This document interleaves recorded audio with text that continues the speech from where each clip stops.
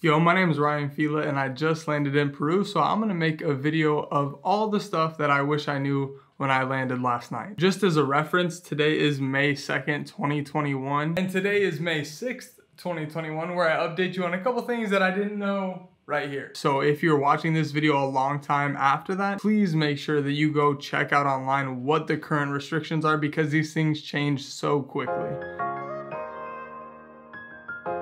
Point number one, if you're traveling to Peru, you must have a face shield. You must, of course, also have a mask. It's not a recommendation anymore, it's a requirement to get on the flight from Florida to Peru, even though I stopped in Panama in between, I had to have one of these with me, but they wouldn't give me my boarding passes. So I was lucky enough that there was a lady at the airport who saw the gap that nobody was selling them. She just had some behind the counter and was selling these for $10 a piece. And they're pretty stylish anyways. My favorite way to wear it is, is the backward upside down visor because this is still swag. I don't care what you say. 2002 is still in. Point number two, you have to have a negative COVID test within 72 hours of boarding your flight. Now, I'm not 100% sure if that is technically before your first flight. If you have layovers, that's what I would assume, but it may be 72 hours before you board your last flight that flight right before you land in Peru. So what I would recommend doing is getting it as late as possible, but not to the point where you're risking not getting the results back before you get on the plane on your way to Peru. And it does have to be a PCR test as well. I've been using CVS and Walgreens. I just looked the other day at Walgreens' labs and how quickly their turnaround times are. And they're between six hours and uh, there was there was two of them. One was around six hours to a day, the other was one to two days. In my experience in the last couple of months, if you get it at Walgreens or CVS, your results will be back to you within about 36 hours. Do be aware though, to do Walgreens and CVS, you must be in a vehicle. They will not take you as a walk-up. I've tried multiple times. It's time to go get yet another COVID test and let's see if I end up in the back of a Lyft again. Let's wash my hair a little bit so I look a little less homeless. Not much better. Hope I gave it another go. Looks like I gotta find a vehicle. this AAA truck is gonna take me through.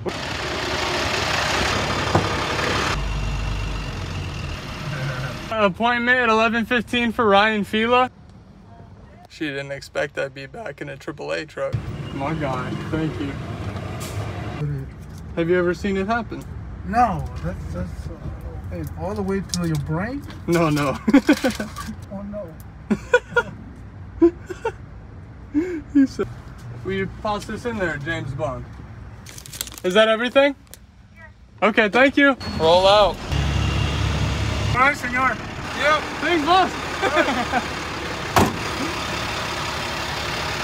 that AAA truck driver needs a raise. He saved me and bailed me out of getting another Lyft, which in LA would have cost me $10 to literally go through the drive through I wasn't paying that again. Also, I'll drop the links to both Walgreens and CVS down below. You can test for free at all these locations if you're uninsured or underinsured. Like your boy.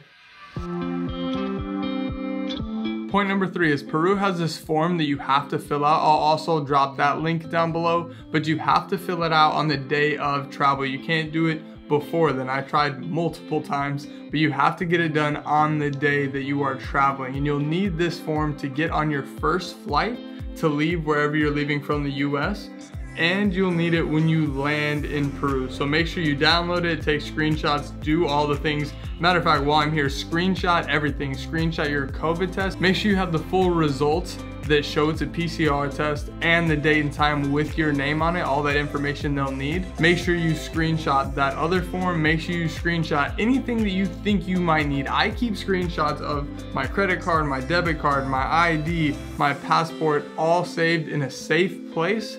So I always have those things available if something crazy happens.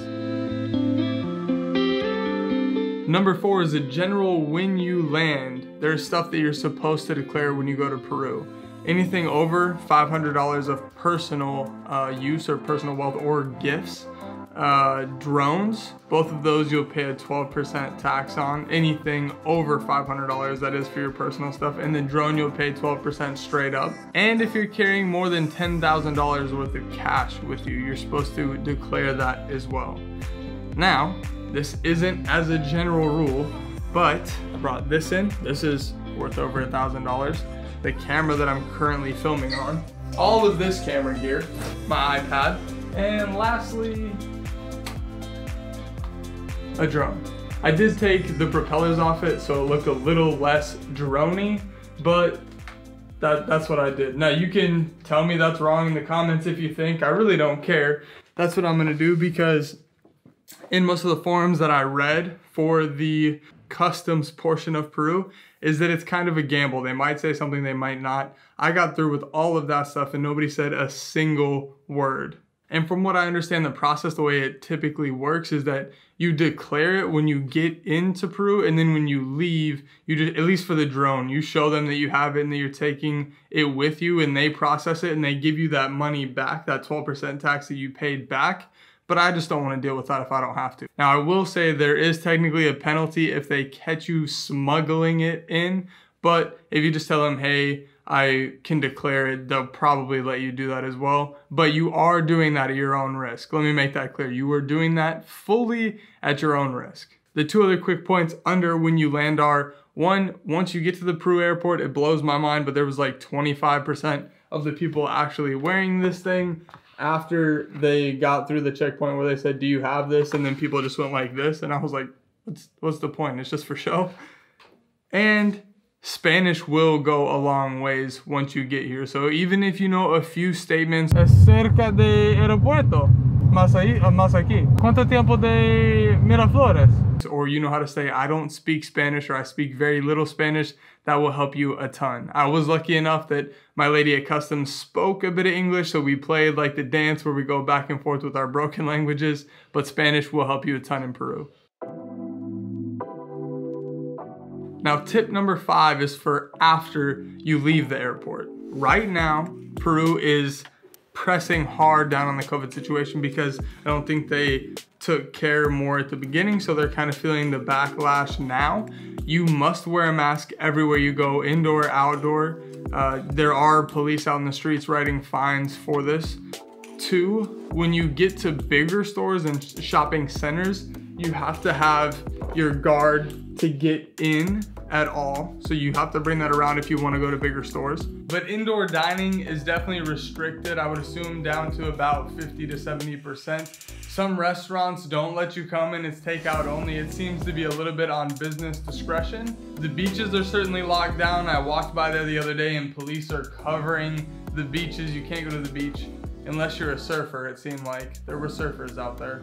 But nobody on the beach. And from what I see going around the city, it seems like most tourist items are closed down. I didn't see anybody paragliding or parasailing on the coast or things like that. So if you're planning on traveling to Lima, Peru for touristy type of stuff, you might want to wait a little while. They have a curfew in place that's from 9 p.m. at night to 4 a.m. in the morning every day of the week. And then on Sundays, I just found this out as I was just about to leave to go get a converter for my plug-in, is that Sundays are completely locked down. On Sundays, you cannot drive your personal vehicles out on the streets. It can only be like taxis or service vehicles or public transit. You can walk outside and some of the businesses are open, especially restaurants for Rappi, which is like their Uber Eats service. They're slammed on Sunday, so businesses and restaurants are still open, but it's pretty quiet in the city.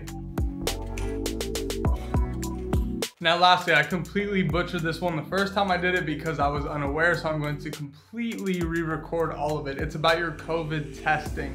So you do have to get this, the COVID test within 72 hours of getting on the plane. But once you get to Peru, you also have to get another COVID test. It can be an antigen or rapid test that you can get, but it has to be in Peru. And you need that to avoid the 14 day quarantine that is still in place for international travelers. So if you get your negative test at home, get on the plane, come to Peru, and you don't get that second test, technically you're supposed to be on a 14 day quarantine period.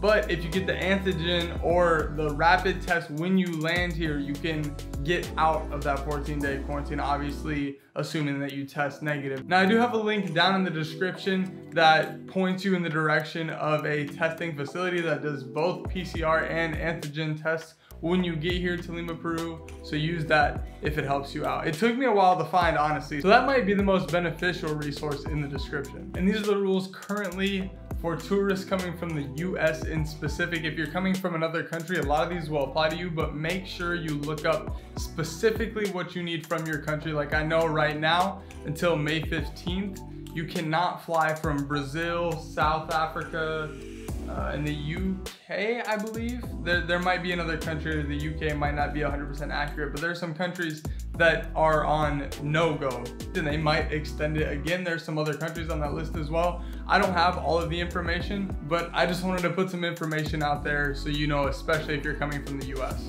Yesterday was my first day in Peru. I just flew in last night. So the next three months, I'm anticipating that I'll be in Peru this first month for sure. We'll be in Lima. We'll see how the COVID restrictions and things play out, whether I move and go somewhere else or whether I stay near the city. But expect a ton of Peru content also mixed with all the stuff from before from Kenya because I'm finally pumping all of that stuff out and getting my workflow nailed down. But if you're new here, again, I'm Ryan Fila. I appreciate you being here. If you got some value out of this video, I'll put a couple other videos up right here that I think you might also enjoy.